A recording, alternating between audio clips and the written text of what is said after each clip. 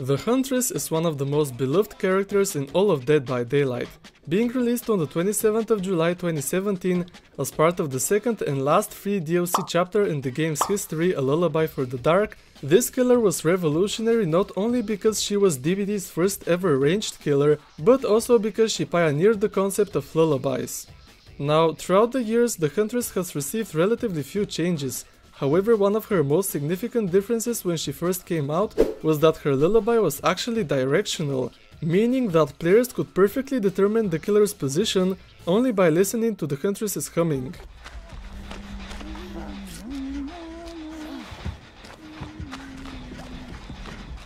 Additionally, when she was first released to the live servers of the game, her hatchets for some reason made a tremendously loud explosion sound on impact with a survivor, take a listen.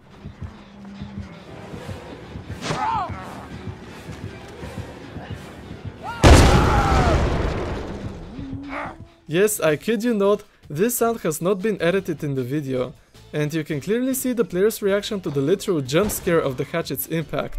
But why was there even an explosion sound effect in the first place? How did all of this actually happen? Well, we'll have to look a little deeper into DBD's history. First of all, we know that the developers were really wanting to make a ranged killer right from the get-go, as in the official Dead by Daylight art book, there is clearly a picture of a hatchet, which very closely resembles the one of the Huntress. Furthermore, this killer power icon had existed in the game files from pretty early on, however this doesn't really answer our initial question at all. But what if I told you that there is a very old video showcasing an early prototype of the Huntress power, which holds the answer to this exact question? Well, what is currently on screen is exactly that. As you can see, this is the hillbilly who's holding a hatchet in its left hand, probably because the Huntress's 3D model hadn't been completed yet. The killer charges the hatchet using the same animation for lunge attacking, and the cooldown between throws is basically non-existent, most likely due to the fact that it just hadn't been programmed at this stage of development. What I'm guessing is that this explosion was simply used as a placeholder during the Huntress's creation process, and the developers accidentally forgot to remove the bomb sound effect when releasing the killer to the live servers. Also something which I personally find really interesting is that you can see the full collision hitboxes of the actual hatchets in-game. Overall, this video is in my opinion a fascinating behind the scenes look of how the DBD developers prototype killers before their release. Moving on, we've got a very strange case of Dead by Daylight's matchmaking system completely messing up and accidentally producing one of the most hilarious moments in the game's entire history. This is a clip of Bulgarian streamer NoThings playing the game during its beta testing stages, and as you can see the match has a total of 8 survivors and 9 generators that have to be completed. However, unfortunately there is only one killer so it's not like this is the 2v8 game mode that we were all dreaming of. Funnily enough, outside of the amount of players, this match was completely normal and the actual game was holding up quite well. There weren't any kinds of bugs or anything else of that nature. And also, it is unclear what exactly caused this bug to occur in the first place, as in the pre-game lobby everything looked completely normal.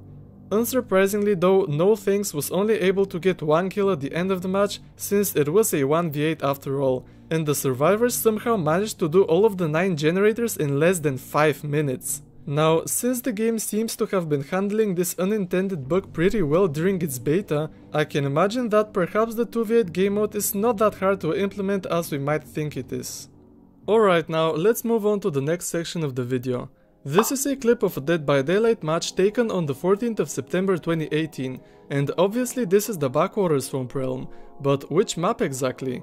As you can see, there are two jungle gyms which doesn't fit the description of neither the Grim Pantry nor the Pale Rose as both of them feature only one maze style.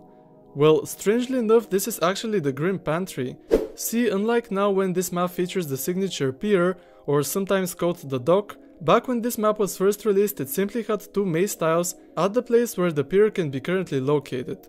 Furthermore, the original version of the Grim Pantry was also quite a bit bigger and only lasted for about a year and one month before it was made significantly smaller and reworked to feature the dock instead of the two maze styles. Fun fact, the Grim Pantry also didn't feature the iconic Crow Bomb until the 2.5.0 update during early 2019. But this is actually not the only backwater swamp map that has been reworked in the past, as the Pale Rose has also had quite the history regarding that. The very original version of the Pale Rose was released on the 8th of December 2016 and had a total size of 284 square tiles.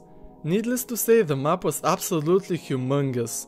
For comparison, the biggest maps in the game right now are Shelter Woods and Azarov's resting place, and those ones are only 176 square tiles. The original Pale Rose had not one but two docks, and one of them was literally almost kissing the main building as you can see. In addition, there were a lot more open spaces between the different tiles. For instance, the shrimp boat was situated on the corner of the map and surrounded by a huge dead zone. During an unknown patch, the map size was reduced to 215 square tiles. However, this still wasn't enough and the map was reworked yet again in the 2.3.0 update to have a total size of a little over 160 square tiles. One of the docks was removed and the Pale Rose received significant layout changes. Since then, the map has remained relatively unchanged, with it only receiving minor tweaks here and there, which were mostly comprised of lighting changes and bug fixes. Alright now, you know how today when you break a pallet in DBD, there is a cool animation of the broken pieces being burned, supposedly by the entity, after which a few wooden planks are left on the ground. Well, back in the early days of the game, when the killer broke a pallet the broken planks would literally fly all over the place, and sometimes survivors could, no joke, determine the killer's exact position from the complete opposite side of the map, simply by taking a look at the wooden parts flying into the air. But did you know that during Dead by Daylight's early prototypes, this was even more exaggerated? As you can see, the pallet quite literally explodes when the killer breaks it, and the reaction of the developers themselves says it all.